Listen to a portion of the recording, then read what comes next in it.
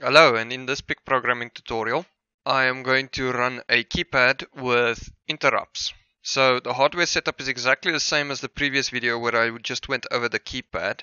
But if you'll note, RB0 is attached to INT0 and RB1 is connected to INT1 and then RB2 is connected to INT2.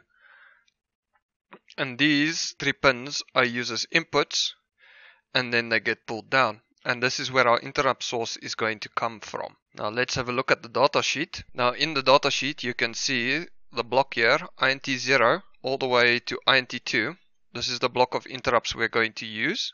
If you'll note, INT0 has no IP bit associated with it. So it is always interrupt high. Now the register we are going to go over is intcon2 and then in intcon2 we are going to set the bit 4, 5 and 6 as interrupts on rising edge because the inputs are pulled down. And then we go to intcon 3 and then our interrupt priority we are going to set bit 6 and bit 7 as high priority interrupts to match INT 0 which is always a high priority interrupt. And then where they state that is in section 9.6 there is no priority bit associated with INT0, it is always a high priority source.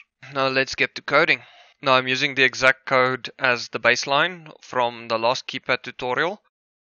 All the functions are the same and whatnot.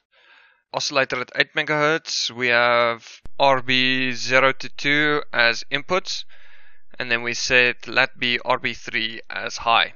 Then we initialize the UART at 9600 baud and that's the base code setup. Now the first thing is we're going to enable all the high priority interrupts by adding in interrupt priority high bit as high and then we're going to start setting up the interrupts from intcon 2 our first interrupt which is interrupt 0 is going to be int con 2 bits dot interrupt edge trigger and that's going to be equals to 1. Go and copy paste that two times and then we just change it to 0, 1, 2. This is going to be our interrupt edge trigger as high and then the next thing is we are going to set the priority bits which is located in intcon 3 and we are going to set them all as high priority bits so we start with intcon 3 int1 priority is equals to 1 to set the priority as high. And then we take int2 priority and set that also as 1 in intcon 3 so this is going to be int1 and 2 is high priority.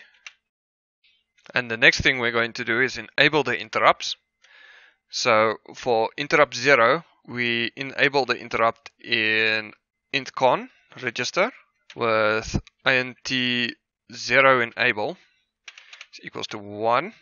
So this enables int0 and then for the other two interrupts we use the intcon 3 register and we set that int1e is equals to 1 to enable it. Then we copy paste that to enable interrupt 2. So we enable int1 and 2 over here. So the only difference is interrupt 0 is enabled in the intcon register and then interrupt 1 and 2 is enabled in the intcon 3 register. Now the next thing we're going to set up is our high priority interrupt service routine. For the interrupt flags, we just go if in the intcon register and that one's bits int0f equals 1 and then in that interrupt. Then we clear the flag in the if and we create two more ifs.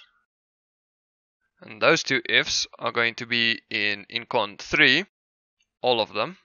And then we say interrupt 1 and then we clear interrupt 1's flag. And then the other if is interrupt 2 and then we clear interrupt 2's flag now for a more detailed explanation on how the interrupts work, I have a video of that and that will be linked at the top of the screen or in the description. Now let's get to the keypad.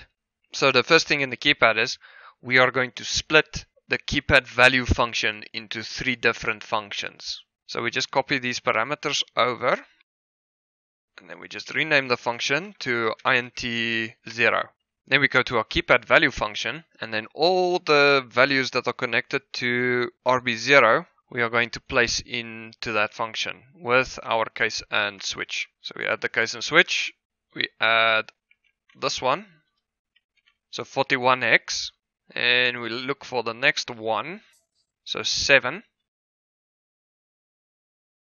Then the next one, which is going to be star,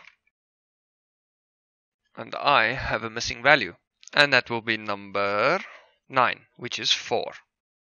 So we just add that in.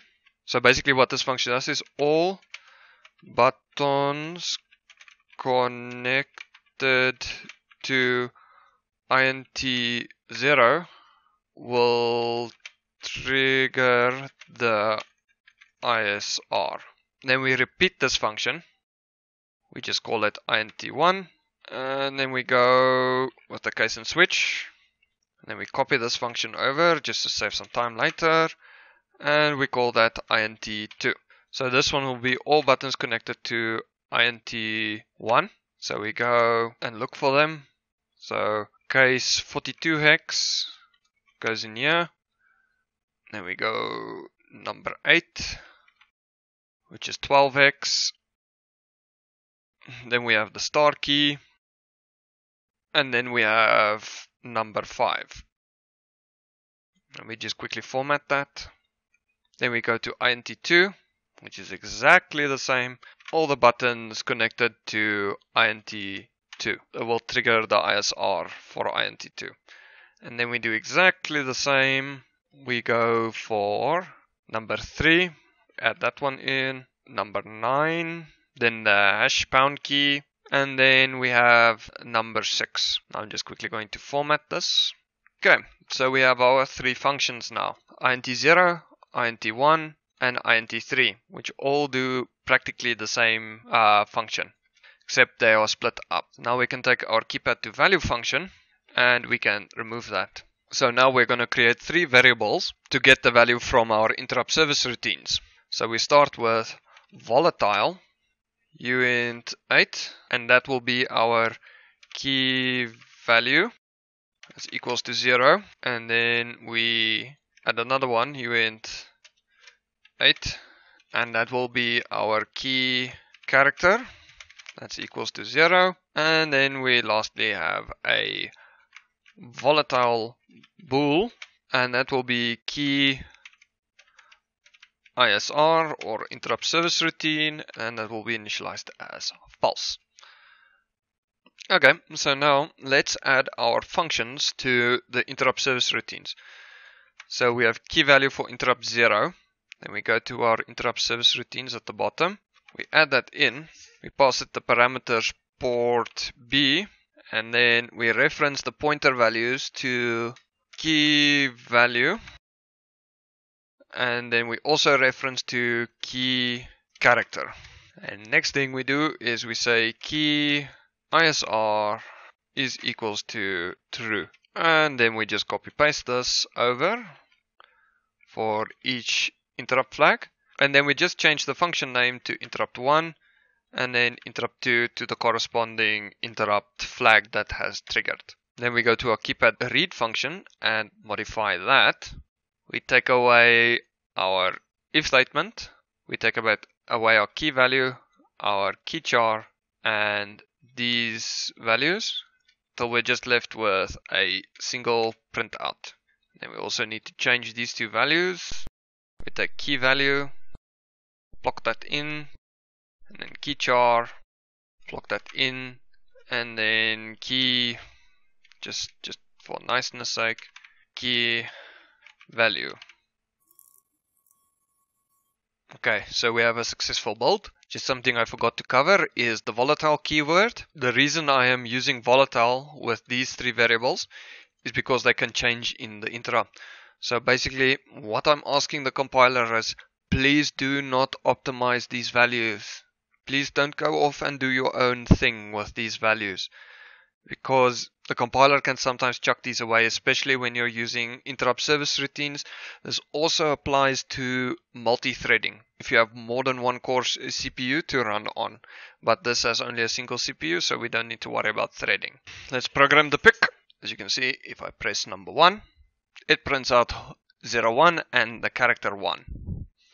And then 2, we have 2 on the screen and the character 2. Then 3, 4, 5, 6, 7, 8, 9, star, 0, pound. Uh, so that's basically how you set up a keypad to run with interrupts. Any suggestions on something you want to see, please let me know down in the comments. Thank you. Have a good one.